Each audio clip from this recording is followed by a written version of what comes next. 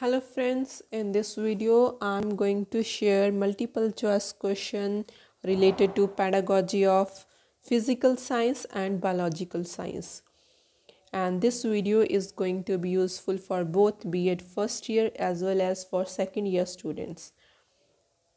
जो C TET की तैयारी कर रहे हैं पेपर टू की फ़िज़िकल साइंस या बायोलॉजिकल साइंस की उनके लिए भी ये वीडियो हेल्पफुल है और फ़र्स्ट ईयर वालों के लिए तो है ही जो कि ऑनलाइन का अभी ट्वेंटी ट्वेंटी में एग्ज़ाम देंगे। तो चलिए देखते हैं अपने क्वेश्चंस यहाँ पे मैंने टर्म साइंस ही क्वेश्चंस में यूज़ की हुई, क्योंकि कुछ ऐसे टॉपिक्स हैं जो फ़िज़िकल साइंस के लिए भी हैं और बायोलॉजिकल साइंस के लिए भी सेम क्वेश्चंस हैं। तो इसीलिए मैं टर्म साइंस यूज़ कर रही हूँ और आपके क्वेश्चन में वहाँ पे फ़िज़िकल साइंस हो सकता है और बायोलॉजिकल के लिए बायोलॉजिकल साइंस होगा। ठीक है? तो क्वेश्चन देखते हैं हमारा पहला question which of the following activities will not provide for active learning among children अभी क्वेश्चन ध्यान से पढ़ना विल नॉट प्रोवाइड लिखा है। एक्टिव लर्निंग अमंग चिल्ड्रन तो पहली ऑप्शन है listening to a lecture in a class establishing science club organization of field trip developing a science corner तो इसका जो करेक्ट आंसर है, वो है listening to a lecture in a class क्योंकि जब लेक्चर को सुनते हैं तो ये क्या होती है, एक तरह की पैसिव लर्निंग होती है। इसमें कोई भी चीज़ एक्टिवली इन्वॉल्व नहीं होती। इसमें क्या होता है कि टीचर इंफॉर्मेशन डिलीवर कर रहा है and student passively receive it और एक्टिव लर्निंग में क्या होता है कि हम फोकस करते हैं कि बच्चा कैसे सीख रहा है। ना कि ऐसे कि क्या सीख रहा है। मेन फोकस हो, होता है कैसे सीख रहा है। ठीक है? इसमें हम स्टूडेंट पे फोकस करते हैं कि वो सोचे नए नए आइडियाज़ सोचे। ठीक है? और पैसिवली लर्निंग को हम प्रमोट नहीं करते एक्टिव लर्निंग में। ठीक है? तो इसीलिए इसका आंसर होगा ऑप्शन ए क्योंकि नॉट पूछा है। Will not provide active learning among student तो ऑप्शन ए होगा हमारा करेक्ट क्योंकि जो ऑप्शन बी है सी है डी है, इसमें स्टूडेंट्स की इन्वॉल्वमेंट है. और ए में स्टूडेंट की इन्वॉल्वमेंट बिल्कुल नहीं है. चलिए नेक्स्ट ऑप्शन नेक्स्ट क्वेश्चन देखते हैं. Which of the following tool is based on technique of observation ठीक है? कौन सा टूल है? तीन चार ऑप्शन हैं हमारे पास. कौन सा टूल ऑब्जर्वेशन के ऊपर बेस्ड है? Anecdotal record, oral test return test या पेपर पेंसिल टेस्ट। इसका आंसर होगा एंसीडोटल रिकॉर्ड, क्योंकि ये ऐसे रिकॉर्ड होते हैं जिसमें हम पर्टिकुलर स्किल को ऑब्ज़र्व करते हैं। चाहे वो एटीट्यूड हो, कोई स्किल हो, ठीक है, जो कि हमें आगे फर्दर इंफॉर्मेशन के लिए यूज़फुल रहती है। इसमें कोई बिहेवियर भी बिहेवियर की ऑब्जर्वेशन भी हो सकती है स्किल की भी एटीट्यूड की भी, ठीक है? तो such records provide cumulative information on student learning and direction for further instruction तो इसका जो करेक्ट आंसर है वो है ए चलिए नेक्स्ट क्वेश्चन देखते हैं। Which of the following should not be an objective of science education at upper primary level not है अभी इस क्वेश्चन में भी। तो फ़र्स्ट है emphasizing the text book definition of concept nourishing the natural curiosity of children inculcating the values of cooperation and concern for life cultivating scientific temper इसका जो correct answer है, वो है ऑप्शन ए ठीक है? जो साइंस एजुकेशन का ऑब्जेक्टिव नहीं है अपर प्राइमरी लेवल के लिए वो है option one emphasizing the text book definition of concept एक बार देखिए, फिर नेक्स्ट क्वेश्चन पे मूव करते हैं।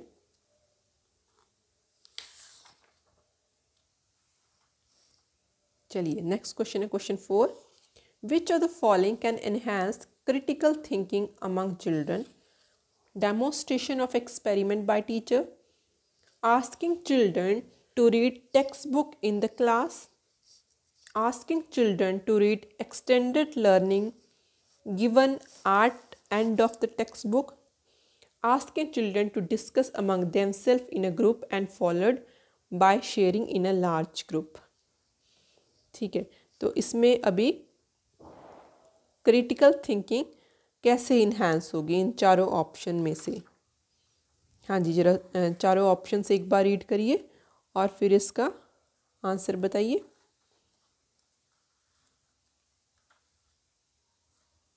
यस इसका आंसर है option A demonstration of experiment by the teacher this enhance the critical thinking among the children option A is correct चलिए नेक्स्ट क्वेश्चन पे मूव करते हैं। Why are field visit important in science it develop habit of hard work among learner it provide hands on experience to learner it is easy to conduct it collect the information of science तो इसका answer है option B it provide hands on experience to the learner अभी field visit important क्यों है science में? क्योंकि इससे क्या होता है? फ़ील्ड विज़िट से क्या होता है? It provide hands on experience to learn क्योंकि साइंस एक ऐसा सब्जेक्ट है that can not be understood through theory सिर्फ़ थ्योरी से बात नहीं बनती साइंस में। बल्कि इसमें एक्सपेरिमेंट एक्टिविटीज़ फ़ील्ड बिल्ड्स एक इफ़ेक्टिव टूल हैं साइंस को समझने के लिए। ठीक है? तो साइंस में एक्सपेरिमेंट्स भी इंपॉर्टेंट है एक्टिविटीज़ भी इंपॉर्टेंट है और फ़ील्ड विज़िट भी इक्वली इंपॉर्टेंट है टू अंडरस्टैंड द साइंस चलिए नेक्स्ट क्वेश्चन पे मूव करते हैं। Question number six which of the following is not a tool for learner centre assessment कौन सा टूल नहीं है? वो है पेपर पेंसिल टेस्ट देखिए क्वेश्चन पे फिर नेक्स्ट क्वेश्चन पे मूव करें question number seven the role of science teacher should be encourage all learner to frame questions of high cognitive abilities, provide rich variety of learning experiences to the learner, provide product-based teaching learning environment to the learner, guide learner to practice the memorization of creative ideas. अभी science teacher का role क्या है The role of science teacher should be to provide product-based teaching learning environment to the learner. Option C is correct. देखिए, एक बार बाकी statements भी देखिए। और जो बाकी ऑप्शंस हैं A C D these are not the right process of teaching of a science teacher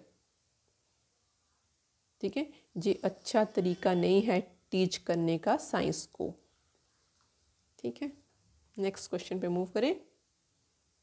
Question number eight as per N C F two thousand five good science education should be अभी हमारे पास ए B C D है और नीचे जो option है उनमें से answer select करना है। पहली है true to the learner true to the environment of learner true to teacher true to science option D only A B D B and C only, A, B, C. इनमें से कौन सी options जो हैं वो ठीक हैं? अकेली डी ठीक है ए ठीक है बी ठीक है डी ठीक है, और तीसरे नंबर पूछा है बी और सी सिर्फ़ ठीक है, और चौथे पे है ए भी ठीक है बी भी ठीक है सी भी ठीक है। तो इसका आंसर है D only true to science as per N C F two thousand five good science education should be true to science ठीक है? नेक्स्ट क्वेश्चन पे मूव करें. Question number nine remedial teaching is helpful for recapitulating the lesson teaching in play way method removing learning difficulties of weak student teaching the whole class answer is option C removing learning difficulties of weak students 10. Conducting a survey on awareness of people about source of air pollution in learning localities. Which of the following cognitive process will be most associated with the above learning objective having action verb conducting? तो इसका जो correct answer है वो है option C understanding understanding जो cognitive process है will be the most associated with the above learning objective having action verb conducting ठीक है?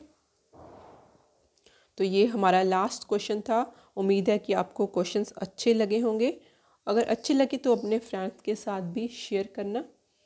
And if you are new to this channel subscribe the subscribe the channel and also press the notification bell to get the updates till then take care bye bye मिलते हैं next video में।